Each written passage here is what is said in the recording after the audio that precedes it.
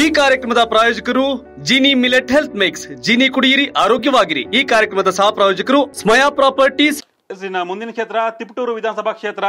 ಸಚಿವರು ಬಿಜೆಪಿಯಿಂದ ಶಾಸಕರು ಬಿ ಸಿ ನಾಗೇಶ್ ಇಲ್ಲಿನ ಹಾಲಿ ಶಾಸಕರು ಅವರೇ ಬಿಜೆಪಿಯಿಂದ ಸ್ಪರ್ಧೆ ಮಾಡ್ತಾ ಇದ್ದಾರೆ. ಇನ್ನು ಕಾಂಗ್ರೆಸ್ನ ಷಡಕ್ಷಿ ಮತ್ತು ಲೋಕೇಶ್ವರ್ ಇಬ್ಬರು ಜಂಟಿಯಾಗಿ ಚುನಾವಣೆ ಮಾಡೋದಕ್ಕೆ ರೆಡಿ ಆಗ್ತಾ ಇದ್ದಾರೆ ಇಲ್ಲಿ ತಿಪಟೂರು ವಿಧಾನಸಭಾ ಕ್ಷೇತ್ರದಲ್ಲಿ.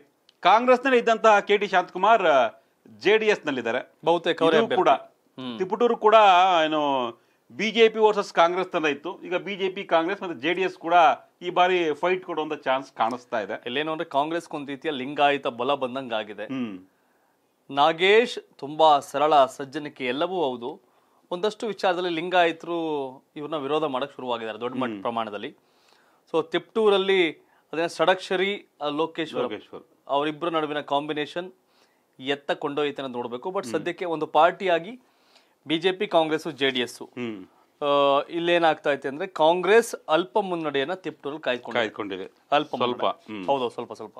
ಎಸ್ ಕರ್ನಾಟಕ ಟಿವಿಯ ಮಾರ್ಚ್ ತಿಂಗಳ ಸರ್ವೆ ಪ್ರಕಾರ ತಿಪ್ಟೂರಲ್ಲಿ ಕಾಂಗ್ರೆಸ್ ಅಲ್ಪ ಮುನ್ನಡೆಯನ್ನು ಕಾಯ್ದುಕೊಂಡಿದೆ